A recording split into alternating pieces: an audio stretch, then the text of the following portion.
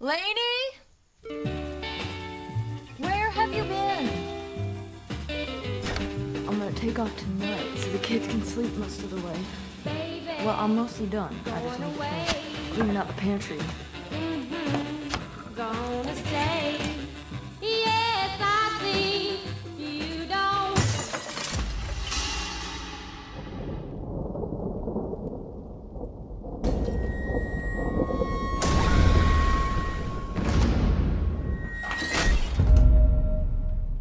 Please let me out.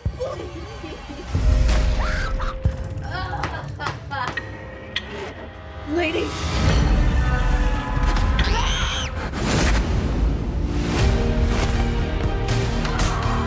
Your daughter, she's very pretty. Don't you touch my kids.